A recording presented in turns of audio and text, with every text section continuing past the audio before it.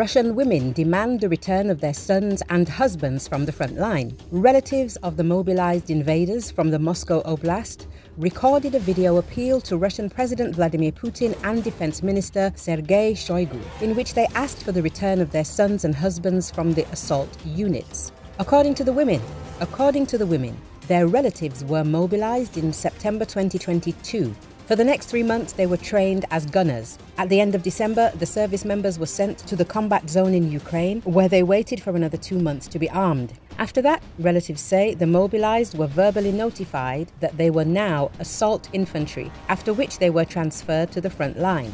Our mobilized men are tossed like cannon fodder to storm fortified areas five men against a hundred well armed enemy men. The women ask to recall soldiers from the front and provide them with tools and ammunition. At the same time, as usual in such appeals, they do not see anything wrong with their relatives going to a foreign country to seize territory and kill people. A video appeal of the mobilized from the 580th Separate Howitzer Artillery Division appeared online. They said they arrived in the so called DPR on the 31st of December. On the 1st of March, they were announced announced to be seconded to the 114th Assault Infantry Regiment. On the 9th of March, the first 15 people were sent to the assault. In their appeal, the mobilized asked Putin to understand the situation and recall them from the front line. Просим отозвать ребят с линии соприкосновения и обеспечить их артиллерийскими орудиями и боеприпасами.